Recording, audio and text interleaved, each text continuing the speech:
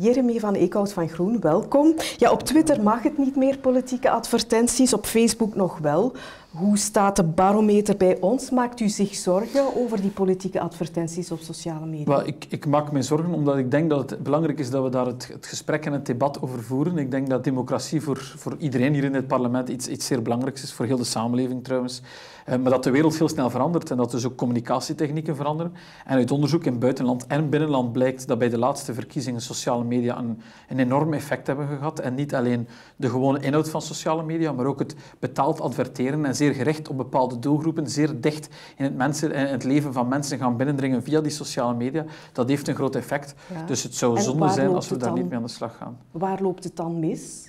Maar het grote verschil met traditionele advertenties is eigenlijk dat, uh, dat, dat die heel veel dieper binnendringt in het, in het leven van mensen. Dus je, waar je bij een, een, een, klassieke krantenadvertentie de krant weglegt als je die niet wilt interesseren, of je, of je draait, draait de pagina om als het je niet interesseert. Dat, bij, een, bij een betaalde advertentie dan kan je dat eigenlijk veel moeilijker gaan ontwijken. Dat komt permanent op de tijdlijn van je sociale media. Je ziet ook dat daar veel gerechter geadverteerd wordt. Daar wordt echt op basis van informatie die, waarover Facebook en Twitter en anderen beschikken, persoonlijke informatie, wordt gebruikt om eigenlijk advertenties op uw maat te gaan brengen, die dus veel meer inspelen op waar u gevoelig aan bent als kiezer. En die dus heel doelgericht zijn, maar met wat slechte wil zou men kunnen zeggen dat u zich zorgen maakt over het succes van het Vlaams Belang.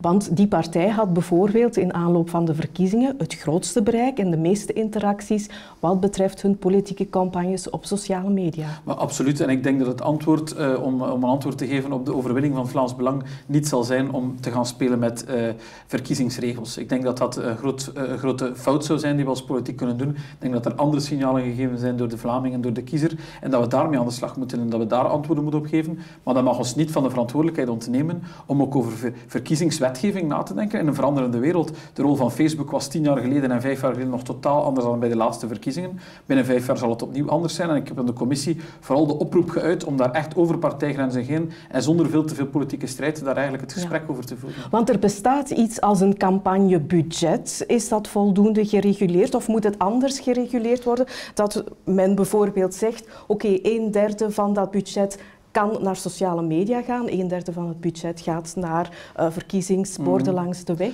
Moet ik, eh, we moeten het gesprek voeren, maar ik denk dat een heel belangrijke insteek kan zijn. Er is nu een zeer ruime, in ons land is er een zeer ruime financiering van partijen. Uh, je kan je daar al bepaalde vragen bij stellen of dat, dat niet te ruim is. Maar, uh, maar nog meer fundamenteel is het eigenlijk ook zo dat die middelen eigenlijk oorspronkelijk bedoeld waren om de totale werking van een partij te gaan versterken. Dat wil zeggen de versterking op het terrein, ondersteuning van lokale mandatarissen, te zorgen dat er lokale afdelingen bestaan. Maar aan de andere kant ook studiediensten, om te zorgen dat er inhoudelijk gewerkt wordt door die partijen, dat die met vernieuwende en goede ideeën komen. Nu zien we eigenlijk dat bij heel wat partijen er heel veel middelen opgepot worden om in de campagne uit te geven. Daar staan wel een bepaalde limieten op, maar er wordt niet vastgelegd waarin kan je gaan investeren. Daar zijn, is eigenlijk relatief ruim en daar wordt ook tussen die categorieën geen onderscheid in gemaakt. En je kan, als je wil, iedere euro aan sociale media geven. En dat lijkt ons niet de bedoeling geweest van die partijfinanciering. Nee, maar je kan ook de vraag stellen, wat zijn politieke advertenties? Zijn dat advertenties in de, loop van, in de aanloop van de verkiezingen? Zijn dat advertenties rond... Uh, kandidaten of horen daar bijvoorbeeld ook voorlichtingscampagnes bij, zoals rond immigratie, gezondheidszorg enzovoort? Als die door partijen gedaan worden, dan zijn dat politieke advertenties. Uh, politici en partijen die zaken betalend adverteren, dat zijn politieke advertenties.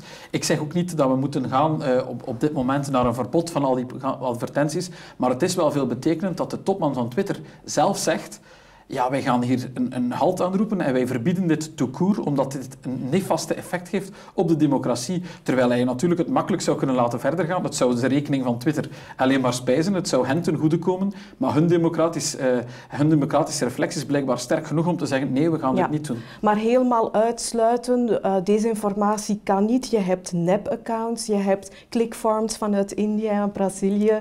Uh, je hebt videomanipulaties waarbij politici perfect that um, ja, kunnen aangepast worden tot een ander gezicht. Dus ja, je kan niets uitsluiten. Absoluut. Hè. En, en de, de, de, slechte kanten van de politiek zijn ook van alle tijden. Dus dat is in die zin is dat niet veranderd. Alleen dat de technologie wel verandert. En dat we dus wel moeten kijken in welke mate kunnen we daar toch een voldoende antwoord op geven. Het zal niet zwart-wit zijn. Het zou ook zonde zijn om de kansen van die technologie om die zomaar opzij te schuiven. Daar zitten ook veel mogelijkheden in. Uh, wij, wij ontsluiten dit kanaal via, via YouTube en zo verder. Dus het is belangrijk om mensen te informeren. Maar aan de andere kant moeten we toch zorgen dat de perverse effecten, dat die ingedamd worden en dat we daar een antwoord op geven. En hoe kunnen die perverse effecten worden ingedamd? Aan welke oplossingen denk je? ik denk, zoals ik daarnet al een stuk zei, aan die, aan die, regelgeving, een stuk vastleggen wat kan waar aangegeven worden. Ik denk dat er bijvoorbeeld ook de installatie van een soort objectieve eh, analysator van die, van die advertenties, waarbij mensen een soort. Een soort waakhondfunctie, eh, die eigenlijk kan zeggen van kijk, eh, dit zijn de factchecks die we daarop doen. Dat gebeurt nu vaak door media, maar daar zijn we een stuk afhankelijk of dat daar tijd en ruimte voor is. Als je daar een onafhankelijke waakhond hebben, zou dat goed zijn. En dat wil dan nog niet zeggen dat alles verboden moet worden.